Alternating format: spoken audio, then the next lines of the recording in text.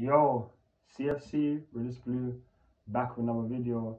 It's continuation of my Chelsea player grading for the 21-22 season. I'm still on my defenders. Now I'm going to be doing Reece James, Starboy Reece James, and I'm going to read you guys out his stats for the 21-22 season. But before all of that, please um, get me to 1,000 subscribers, like, share, and comment on all my videos. Um, yeah man get me to 1000 subscribers before the 6th of august so i can interact with you guys even more during the next season.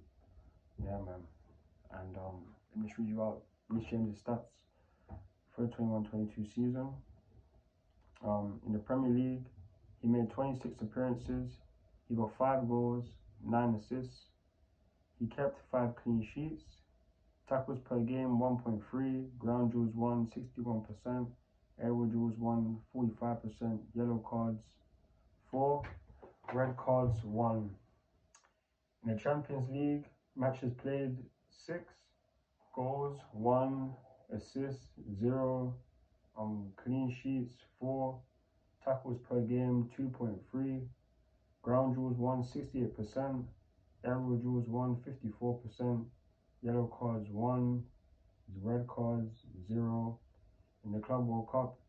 He didn't play, obviously due to injury, so he didn't make any appearances in the Club World Cup for us. Um, in the UEFA Super Cup, due to um, due to England reaching again far in um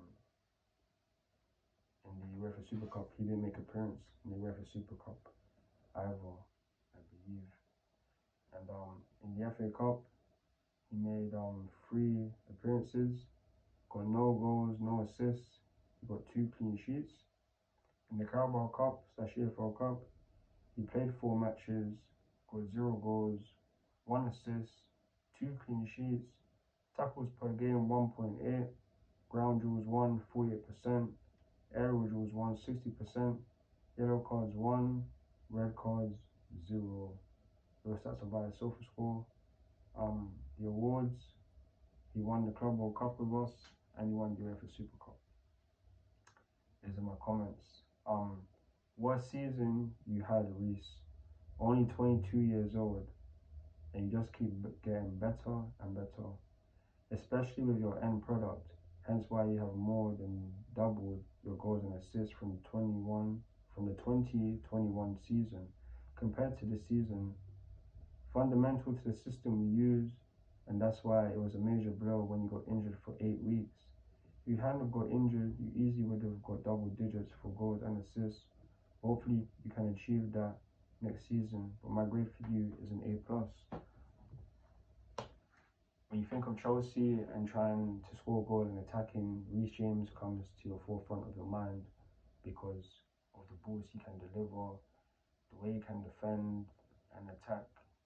Um, and now at 22, eventually he's going to be the best right back in the world. If like people say that he's not already, people some people say he is already, some people say he won't, but he's going to be the best right back in the world.